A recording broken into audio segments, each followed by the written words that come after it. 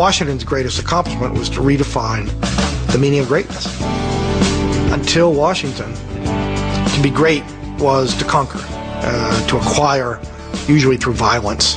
Washington walked away from power voluntarily, twice. Once at the end of the revolution, and then, of course, at the end of his presidency.